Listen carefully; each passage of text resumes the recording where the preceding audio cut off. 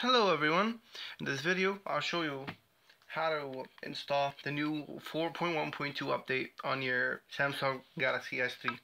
First of all, you need to shut your phone off. Like this, just press power off and then OK.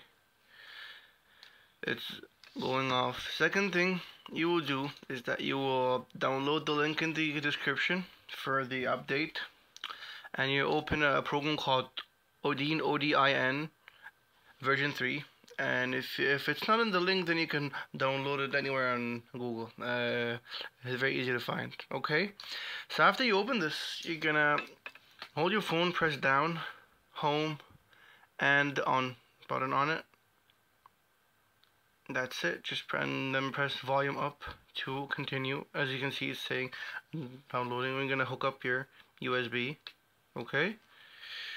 Uh, then it should appear here. Yes uh, it says it's uh, connected to COM29 uh, let me just close this. Then press um, click on a button called PDA after you click on it you're gonna in the link that you got you, you got a file called i9300 just extract that file to any folder and then search for it.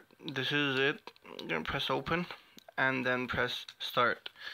So what it will do now is that it will start downloading the file. So as you can see now it started downloading the file to the phone itself. It will take a little bit. It will say around like two minutes three minutes maximum. And then after that you're gonna open your phone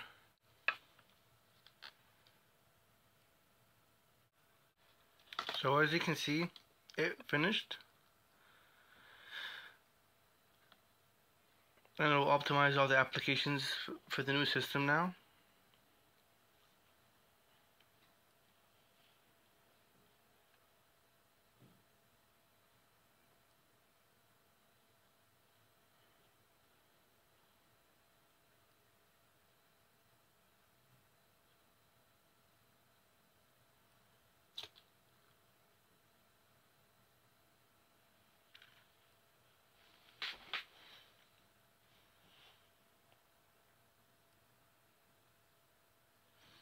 and that is it. I'll show you the new system that it's on. About device. As you can see in the Android version is 4.1.2 thanks everyone for watching. If you need any help with your Samsung Galaxy S3 I'll be more than happy to help. Just say it in the comments section or send me a message. Take care everyone. Bye bye